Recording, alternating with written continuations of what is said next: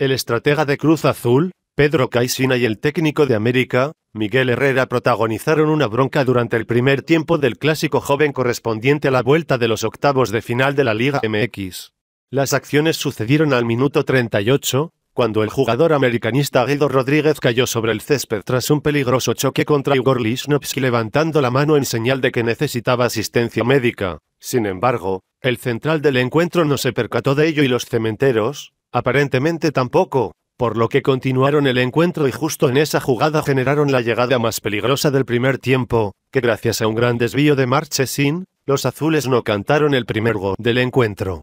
Cuando terminó la jugada, los americanistas hicieron fuertes reclamos a los cementeros por no respetar el fair play y fue entonces cuando ambos estrategas iniciaron una fuerte discusión en la zona técnica. Los jugadores y otros miembros del cuerpo técnico de ambos clubes que estaban en el banquillo tuvieron que intervenir para terminar con la intensa discusión. Minutos más tarde, los técnicos se volvieron a buscar las caras, sin embargo, se dieron la mano y continuaron haciendo su trabajo.